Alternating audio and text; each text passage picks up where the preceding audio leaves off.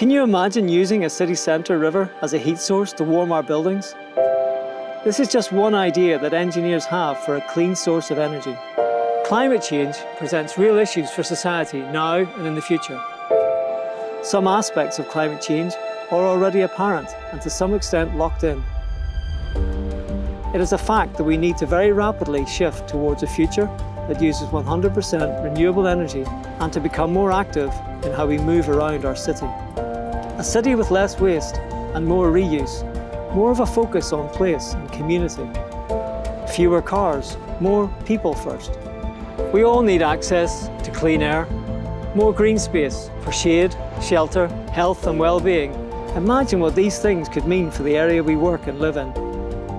We can reimagine the River Clyde as an energy source and an accessible resource for people, an enabler of change, working for the people of Glasgow. We can tap into the River Clyde as a clean, ambient source of energy, energy that can generate heat for warm, well-insulated homes and buildings in the city. This is possible. What if we also generated and connected clean power from wind and solar into our city? Combining these into a revitalised and greener streetscape is a real possibility. It's in our reach. These ideas could be integrated into a reimagined high street. The original birthplace of Glasgow could be reborn and made into a climate corridor with clean air, less noise, more space for communities. It would mean putting people first, not cars, vans, lorries, when it comes to street priority.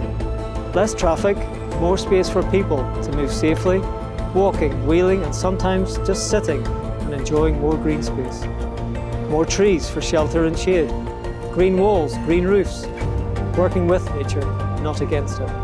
Access to the services we need within a short distance or on a clean and accessible integrated transport system. This is the vision of a climate neutral innovation district in Glasgow city centre and at the University of Strathclyde we have the brightest minds working towards this cleaner, healthier future.